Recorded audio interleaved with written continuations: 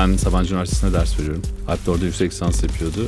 E, tez danışmanıydım. Beraber birçok şeyi öğrendik ve yapmaya başladık. Çeşitli projeler yapmaya devam ederken ikimizin müzisyen geçmişi de var. E, ve kodlamayla uğraşıyoruz, yaratıcı kodlamayla. Neden acaba bu dünyaya girmiyoruz diye bir uyandığımız bir an oldu. Kısaca canlı kodlama yazdığınız bir programın, aslında var olan bir programın o anda akışının değiştirilmesi, modifiye edilmesi eş zamanlı olarak aslında bir bilgisayar yazılımının geliştirilmesi diyebiliriz. Laptopu bir enstrüman gibi algılayıp bunda neler yapabiliriz? Buradaki istediğim, istediğimiz hatta hayal etmediğimiz şeylerin bile ortaya çıkabileceği ortamları nasıl sağlayabiliriz derken canlı kodlama bir anlatı biçimi olarak bizim çok ilgimizi çekti meseleyi biraz yaratıcı kodlama diye düşünecek olursak görselleri de kendimiz üretiyoruz. Herhangi bir üçüncü yazılım kullanmıyoruz. Her şeyi sıfırdan kendimiz yapıyoruz. Bu da kendi ifade biçimlerini özgün biçimde sunmanın e, yollarını sağlıyor. Kendinize ait bir yazılımı e, kendinizin geliştirmesi gibi düşünün. Hiçbir para vermeden o anda ihtiyacınız olan yazılım geliştirip sahnede kullanabiliyorsunuz. En büyük faydası da artısı da o diyebilirim.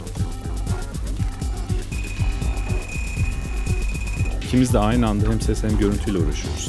Dört ayrı görüntü kanalını kontrol ediyoruz. Aynı zamanda ses üretiyoruz bir fiil.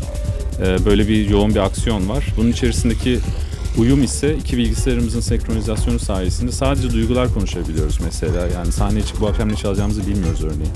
E, tamamen bir doğaçlama elektronik müzik e, şey performansı sunuyoruz. Belki de geçmişimizden gelen gelenekle beraber sahnede olma ve grup üyesi olma duygusu bazen konuşmadan bir iletişim biçimine dönüşebiliyor. Onun üzerinden gelişiyor her şey.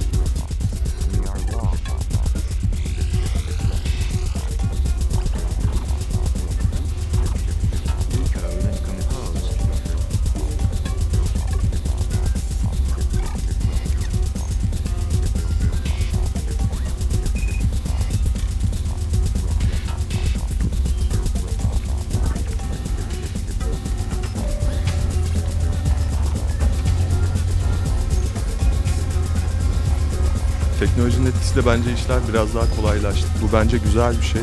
Önceden bir uzmanın sahip olduğu deneyimle bu tür şovlar yapılırken artık müzisyenler de kendi programlarını yazıp, görsel programlarını yazıp, geliştirip e, sahneye daha çok koymaya çalışıyorlar. Takip ettiğimiz, sevdiğimiz bir felsefeci var Bülent Yüksel.